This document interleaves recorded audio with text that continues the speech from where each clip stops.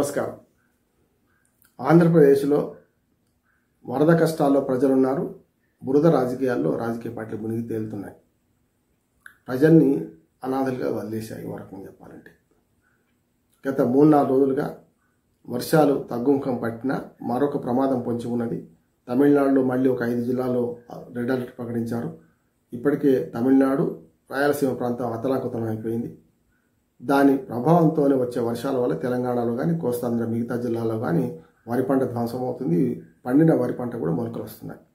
ఈ స్థితిలో మొత్తం తెలుగు రాష్ట్రాలు అట్లాగే తమిళనాడు రాష్ట్రంలో పెద్ద ఎత్తున ఇవాళ వ్యవసాయదారులు వ్యవసాయం నష్టపోయింది. ఆస్తి నష్టం వేల కోట్లలో జరిగింది.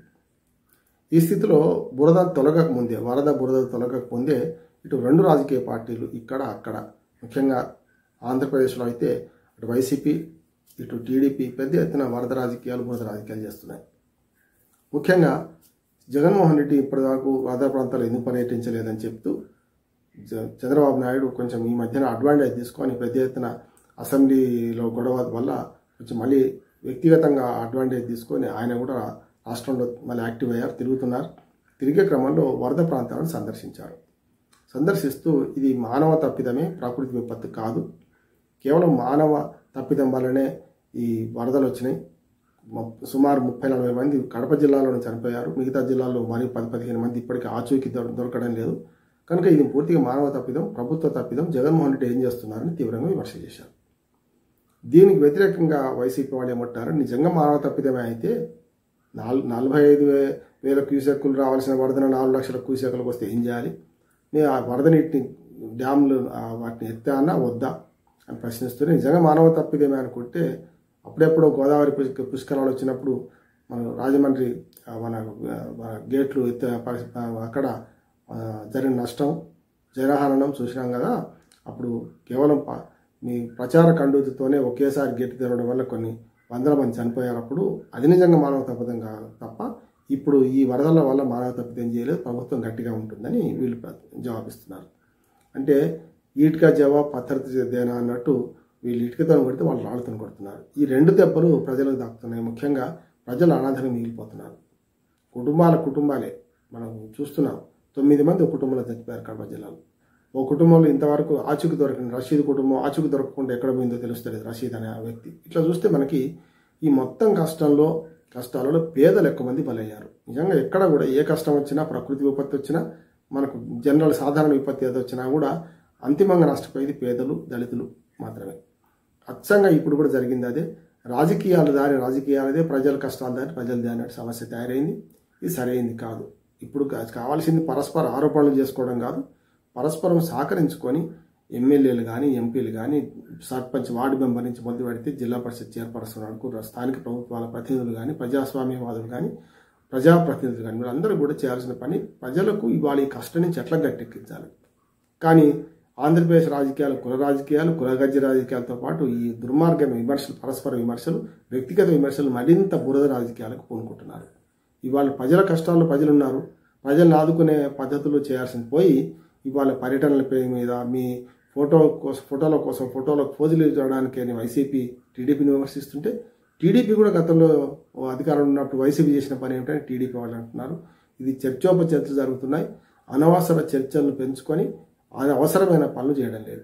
అట్లాగే నిధుల విషయంలో కూడా ఈ విపత్తు వచ్చినప్పుడు కేంద్ర ప్రభుత్వం నిధులు విడుదల చేయలేదని ఒక చేయలేదని ఒక విమర్శ కూడా వస్తున్నది. కేంద్ర ప్రభుత్వం వాదన ఏముందంటే గతంలో ఎప్పుడో హుద్ హుద్ తుఫాను విశాఖపట్నంలో హుద్ హుత్ తుఫాన్ వచ్చినప్పుడు మేము ఇచ్చిన నిధులే పూర్తి ఖర్చు చేసుకోలేదు. ఇప్పటికి ఐదు వందల యాభై కోట్ల రూపాయల నిధులు మీ దగ్గర నిల్వ ఉన్నాయి. దాని లెక్కలే అప్పచెప్పలేదు అని గత ప్రభుత్వం మీద ఇచ్చినప్పటి నిధుల గురించి ఇప్పుడు లావాదేవీ లెక్కలు తెస్తున్నది. అయ్యా ఇప్పుడు మహానుభావ ఇప్పుడు మొదలు ఆదుకోండి. ఇప్పుడు మీరు చేయండి అని చెప్పి ఇటుపక్క వైసీపీ వాళ్ళు అడుగుతున్నారు. అట్లాగే సాక్షాత్తు రాష్ట్ర ప్రభుత్వం ఆంధ్రప్రదేశ్ రాష్ట్ర ప్రభుత్వం ముఖ్యమంత్రి జగన్మోహన్ రెడ్డి గారు కేంద్ర ప్రభుత్వానికి లేఖ రాశారు. ఐదారు వేల కోట్ల నష్టమైంది రూపాయల కోట్ల నష్టమైంది. ఇవాళ ఐదారు వేల కోట్ల రూపాయలు ఒకసారి ఇవ్వలేదు కానీ కనీసం వెయ్యి కోట్లు తక్షణ సహాయం చేయమని చెప్పి కేంద్ర ప్రభుత్వం లేచ లేఖ రాశారు. లేఖ రాస్తే ఊరుకుంటే సరిపోతుందని టీడీపీ వాళ్ళు అంటారు. బీజేపీ వాళ్ళు ఏమంటారు? గతంలో మేము పంపిన నిధుల్ని కేంద్ర ప్రభుత్వం ఇచ్చిన నిధులను మీరు పూర్తి ఖర్చు చేయలేదు. దాని లెక్కలు అప్పచెప్పలేదని వాళ్ళు. ఇప్పుడు అవన్నీ తీయాల్సిన పని లేదు. నిజంగా తాత్కాలికంగా సహాయం చేయాల్సింది ఇప్పుడు. రెండవది ప్రధానమంత్రి ఎక్కడో వరదలు వస్తే అక్కడికి వెళ్ళి ఓటు బ్యాంక్ రాజకీయాలు చేస్తున్నాడు. కానీ ఇక్కడ ఆంధ్రప్రదేశ్లో వరదలు వచ్చినప్పుడు ఎందుకు రారు? ఆయన ప్రధానంగా ప్రధానంగా ఎందుకు స్పందించరని సరిగ్గా ఆ మాట వైసీపీ వాళ్ళు అంటే వైసీపీ వాళ్ళు టీడీపీ టీడీపీ ప్రశ్నిస్తుంది. మీ ముఖ్యమంత్రి ఏం చేస్తున్నారు? మరి వరదల ప్రాంతాల్లో పర్యటించవచ్చు కదా అని. ముఖ్యమంత్రి అయినా ప్రధానమంత్రి అయినా కష్టాల్లో ఉన్న ప్రజలను అప్పుడు పర్యటిస్తే అసలు అటెన్షన్ పోయి ఈ అధికారుల హడావుడి ఇంకా వేరే రకంగా డైవర్ట్ అవుతుంది కనుక అధికారులు పని చేయించుకోవాలి అని చెప్పేది సర్వసాధారణ సూత్రం. ఇవాళ పర్యటించి ఓదార్పు కాదు చేయాల్సిన యాక్షన్. కార్యక్షేత్ర క్షేత్రంలో కార్యాచరణ మొదలుపెట్టాలి.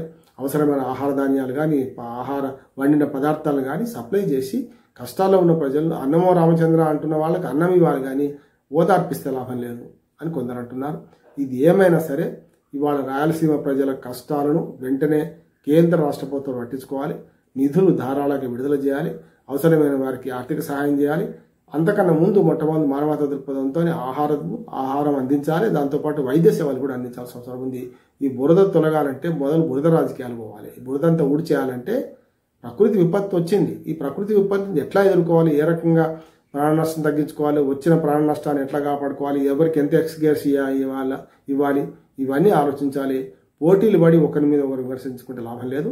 అందుకనే ఆంధ్రప్రదేశ్లోని అన్ని రాజకీయ పక్షాలకు పౌర సమాజానికి విజ్ఞప్తి చేసింది ఈ వరద రాజకీయాల్లో వరద కష్టాల్లో ప్రజలు ఉన్నప్పుడు బురద రాజకీయాలు చేయకుండా ఉండండి. సాధ్యమైనంత వరకు మానవతా దృక్పథంతో అన్నార్థులను అంటే పేదలను ముఖ్యంగా వరద బాధితులను ఆదుకోమని విజ్ఞప్తి చేస్తూ ముగిస్తున్నాను. నమస్కారం.